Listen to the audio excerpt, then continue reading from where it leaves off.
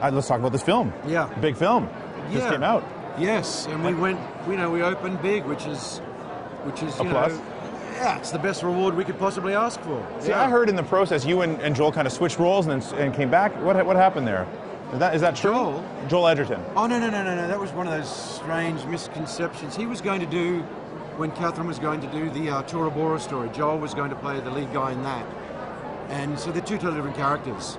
And then they, you know, Kathryn switched and she made Zero Dark Thirty instead. You know, when we all know what happened happened. I like debunking internet rumors. That's what we're doing here. Yeah, it was an internet. It's funny because Joel and I are, are best buddies. You know, we're, we're very old good friends, and it was just you know it was a story that went around. But you know, Forget it. Let's talk about the movie. True. Yeah. What, so are you worried? I always like I see this film and I worry about like, especially for someone like Kathryn and Mark, repercussions for maybe the, the crazies over there.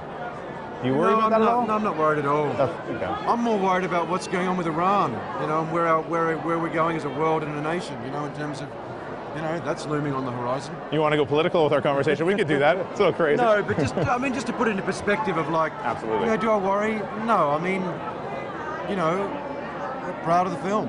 Absolutely. Um, how do you get into character? Like, where does it start for you? When, when do you feel most like your character? Is it in the makeup trailer? Is it when you're reading the lines? Like, how do you get into character? In the scene. When, Like, when really, action when- or beforehand? When you get on that set, I mean, you've done everything you can do to, you know, fill the fridge with food. So you got, you know, you put everything inside you, and hopefully it's all there.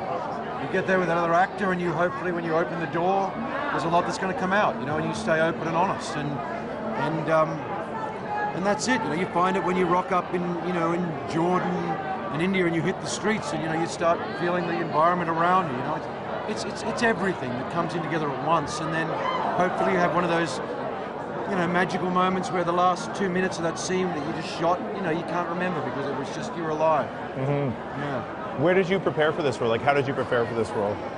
I'd done. I played a role on Fox on Chicago Code where I'd played a homicide detective, and I'd watched a lot of homicide interrogations, and that really was that was my first and probably biggest, you know, lesson in terms of watching these.